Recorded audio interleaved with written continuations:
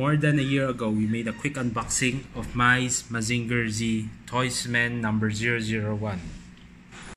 Since then, Maize released number 002, the Mazinger Wing, and in 2018, Toysman 003 Voltes 5.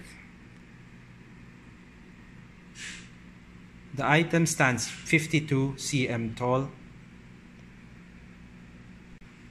I lined up in Wonder Festival 2018 last week. Here's the back of the box. For those of you wondering why Maize would produce items like this, basically it is to pay homage to the jumbo machinders of the 1970s by Popy. But this time, this is a new product by Maize that combines some of the best elements of the old jumbo machinder style and new toy technology. Here's the bottom of the box. This is the box lid for Voltes on the left side. Here are both Voltes and Mazinger now. Do check out my quick unboxing video of Mazinger Z at my youtube.com slash greattoysonline channel. And here's a more close-up shot of Voltes 5.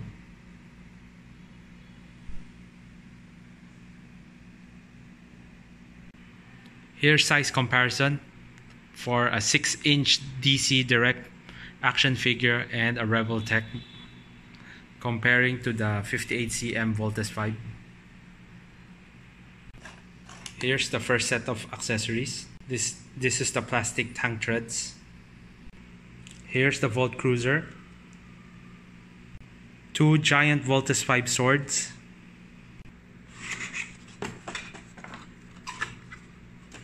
Vintage style stickers are included in this unit. There's no instruction manual since it's already printed on the side of the box. Instead of just making the back of Volt, the back of Volt Cruiser, Toysman Maize really made a effort to make this one foldable. Z, the main chest part is made of die-cast metal and this time it's even magnetic. Instead of following the jumbo Machinder style figure just like the Mazinger Z, this time Maize decide to do Voltes 5 in more of a Godaikin Voltes 5 DX style, which is a really nice departure from the uh, Machinder style. To activate the main gimmick, you just load the top into Voltes 5. Pull this string out hard.